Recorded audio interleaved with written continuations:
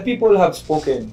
Tapos na ang halalan kaya bigyan naman natin ng pagkakataon ang pagkakaisa para sa kapayapaan at kaunlaran ng ating bansa.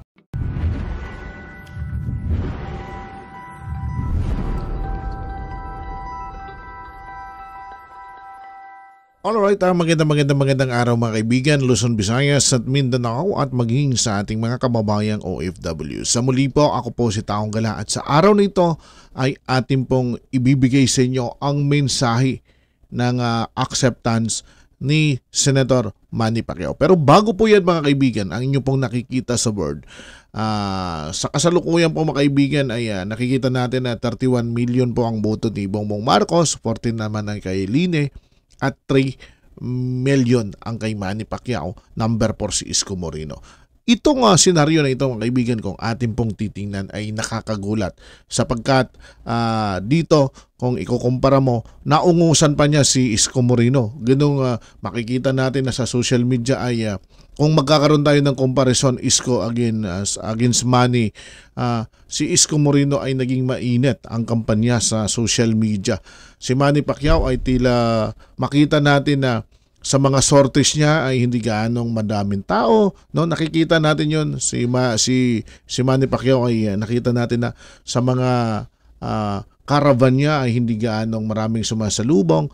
Uh, pero nagulat tayo sapagkat pumalo pa rin siya sa tatlong uh, pangatlo no? Ito ay magandang uh, pangitain at indicator para sa isang Manny Pacquiao na pumalo siya ng tatlong uh, pangatlo sa halalang ito.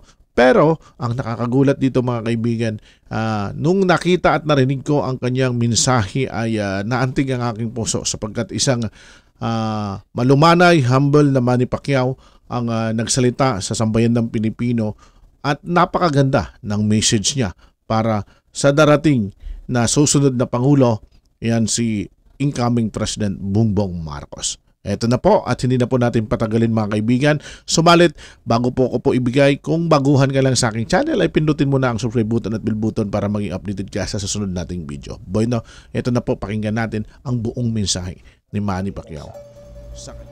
My decision to run was driven by my utmost desire to serve the country and uplift the lives of poor Filipinos. Bilang isang boxer at atleta, marunong akong tumanggap ng pagkatalo sana lang kahit talo ako sa laban na ito, panalo pa rin ang mga kapwa ko Pilipino, yung mga naghihirap.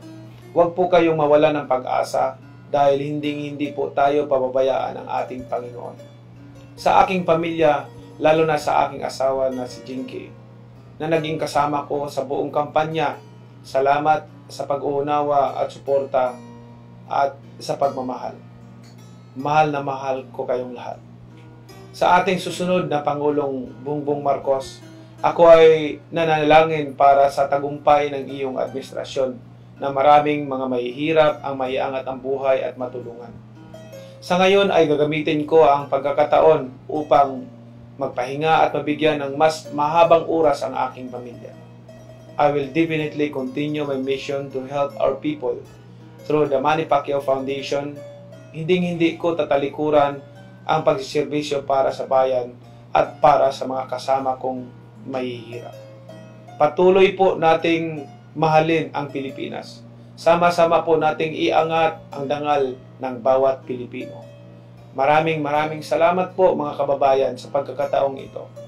Mahal na mahal po kayo ni Manny Pacquiao, anuman ang mangyari. Yan po ang aking puso na tunay na may malasakit sa mga naghihirap na tao. Maraming maraming salamat po at uh, naway ingatan po kayo palagi ng ating mahal na Panginoon. So ayun po mga kaibigan ang mensahe ni uh, Manny Pacquiao sa kanyang uh, uh, pagtanggap ng kanyang pagkabigo o pagkatalo no itong nakarang halalan. And of course, uh, tinatanggap niya yung uh, nakitang uh, uh, napakaraming suporta ng sambayan ng Pilipino para po sa isang uh, Bongbong Marcos. And of course, kung ating pong titingnan lang mga kaibigan, bigyan din lang yung kanyang mga misinabi. Binigyan niya ng pansin. Una, ang pagpapasalamat sa kanyang pamilya kay Jingy Pacquiao sa pagsuporta sa pag-iikot sa kampanya. At syempre, sabi nga niya, mahal niya ang sambayan ng Pilipino at yung kanyang pagtakbo ay kanya ay dahil sa kanyang desire na magsilbi ayan sa ating ah, mga kababayan.